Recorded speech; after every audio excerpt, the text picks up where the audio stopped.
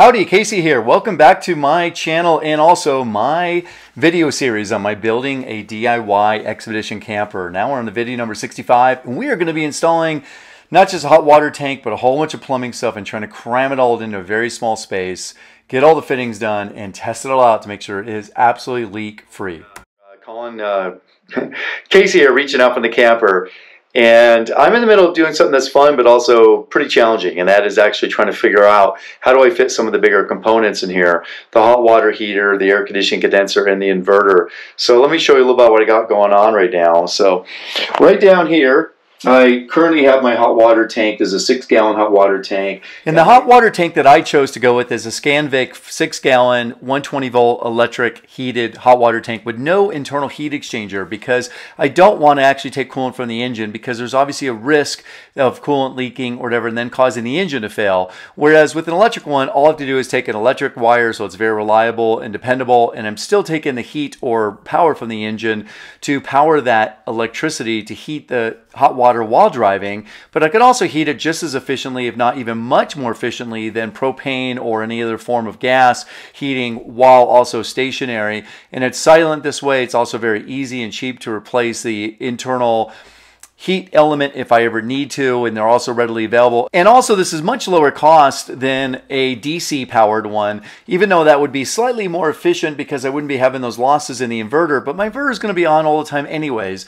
So this was the most efficient, lowest cost, lowest weight, most reliable way to go, and so I'm very happy with this selection. And then started the game of hot water tank Tetris, so trying it all these different ways, along with the cruise and comfort compressor, so figure out which way would really work best within my my cabinets. My, my plumbing one line. And even though this is a rough sketch, my plumbing one line allows me to basically suck water from a outside source filled in via gravity or pressure and be filtered in any three of those combinations and also be able to isolate any tank in any way and also be able to reverse pump it out. And also allows for all the necessary drains and so forth from the tank and onward. And I've got everything kind of laid out where my filters are going to be up against this wall and, and my pressure pump and all that stuff's going to be back here.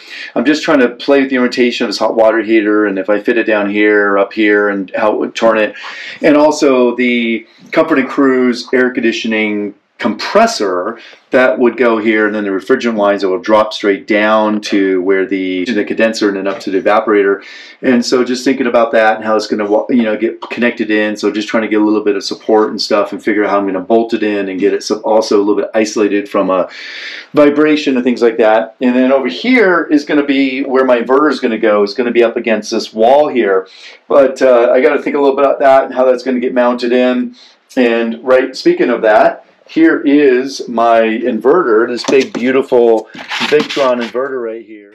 And we'll get to that Victron inverter and the rest of the electrical system in a future video coming up soon. Right now, it's about installing this plumbing system, and there's a lot to do here. So once I got my initial layout done and all my fittings and stuff organized that I'm going to start with, I went ahead and got everything kind of played out as far as those fittings.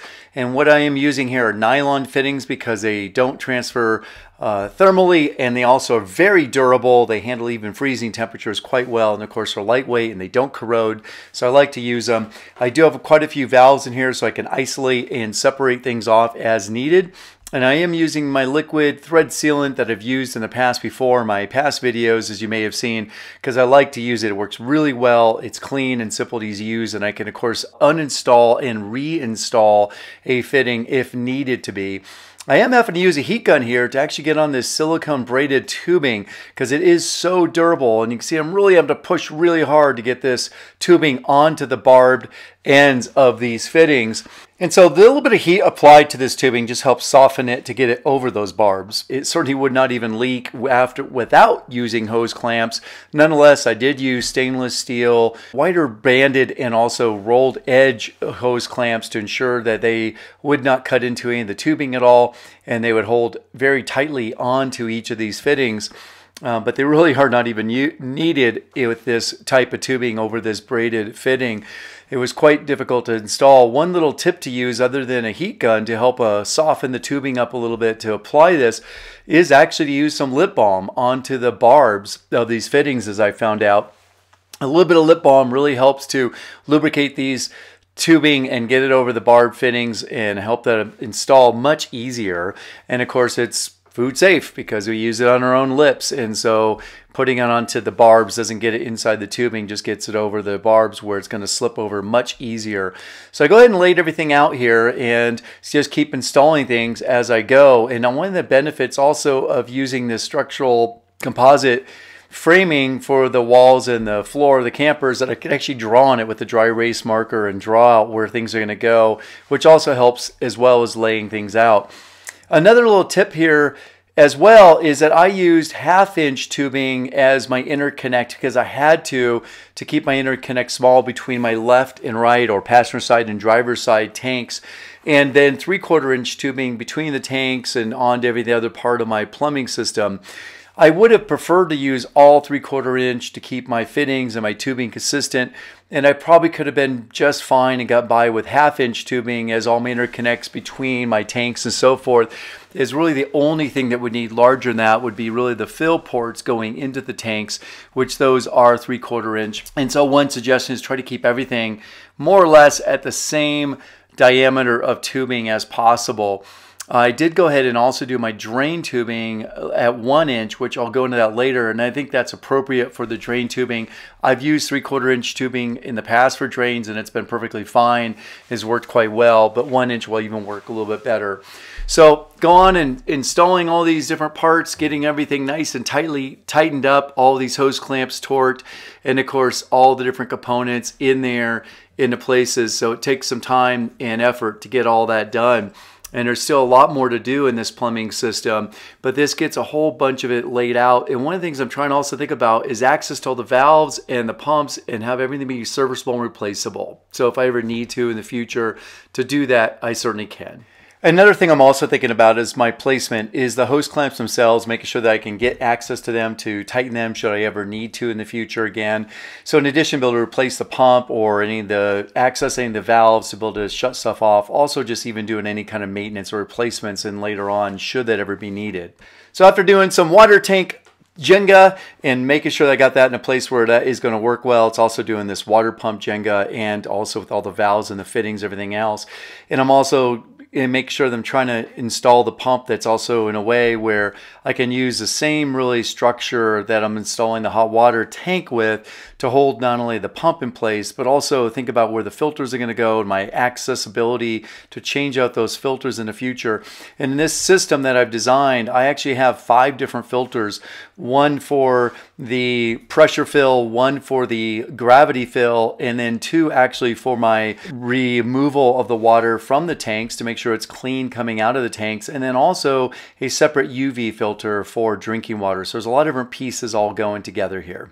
And just in case you missed it from some of my earlier videos in this camper build video series, all of my structural framing here, my 80-20 structural framing is actually one inch profile and it is actually glued down to the floor. It's set up in a way where it's only glued down really on two sides, two parallel paths going longitudinally along the camper. It is incredibly strong with this, over 500 pounds per square inch of tensile strength. And, and of course, there's a lot of square inches of this tubing or the framing that's on here. And so it is incredibly strong. So not only is it strong enough to hold all these water tanks in place, but of course, all the other components of the cabinetry and so forth. Now, one thing I have to do, of course, is unfortunately drill a hole in the floor, and I have to drill several holes in the floor. One for actually the drain from the water tank, should ever want to drain them, and another is actually for my gray water drain, which I want to keep that separate until it gets below the camper, just in case there's ever an overflow of any kind. So I actually have to drill holes in the floor here, and I'll show you what I'm doing for my pass-through of my plumbing to make sure it is incredibly thermally uh, non-transfer resistant and also it's very strong and structural and also completely air and water tight. Water tight from and airtight from both below and above. So I'll show that in my next video coming up. And so that's one of the one of the holes I already drilled here and I'll have more of those coming up that I have to do. But there's a whole lot of these little sub assemblies of the plumbing and the valves and everything else that got to go in here. So it is pretty complex trying to get into a pretty small space and I'm keeping it all to a small space so that I, of course, maintain space for my cabinetry, for storage in the cabinetry, and of course other things in those cabinetry. but also want to make sure that all of this plumbing is accessible. So that is really accessible through my little crawl space and also from within the cabinet itself by removing the lower drawers and or lower access panel uh, where the water filters will be behind. And then I can access all these valves and of course all the rest of the plumbing and the thermostatic valve from the hot water tank so that I can actually adjust the hot water temperature as it exits the hot water tank. So there's a lot of different pieces to this. I can also divert water from each tank side, each tank, one of the four tanks or either side. So I can use water from any one of the tanks or separate those tanks should I ever need to for any reason. And that way, if I have any kind of contamination in one tank or any kind of growth in one tank or any kind of poor water, I can certainly go ahead and separate that out. Another thing I'm also doing here is I'm installing the pump and the hot water tank over some structural fiberglass pieces. And so it's one bit, it's a little bit of a separation between that and the aluminum framing as a thermal separation, but it's also a vibration absorber for the pump and so forth. So that vibration from the pump, even though it's mounted on rubber feet, those are then mounted to this fiberglass structural framing, which is then mounted to the 8020 aluminum framing. So this way, any vibration from the pump is isolated from the cabinetry. So I don't feel the cabinetry vibrating with the pump running. And of course, the hot water tank itself, even though it's also in a fiberglass case, it's very well insulated. It is now also thermally isolated from the rest of the framing also. Now that it's all installed, time to make sure it doesn't Quick leak. little water test. nice. And now that the tanks and the water system's been installed, went ahead and filled them up with water and then tested it out, make sure there's no leakage, and then use the actual water pump to pump the water out since my drain wasn't installed, which will be coming up in my next video showing you how to put those drains in through the floors as well as finishing up the cabinetry and also, of course, finishing up the plumbing system here. So, so much more to come. Thank you for watching. Look forward to sharing more with you in my future videos in this build of my DIY Expedition Camper.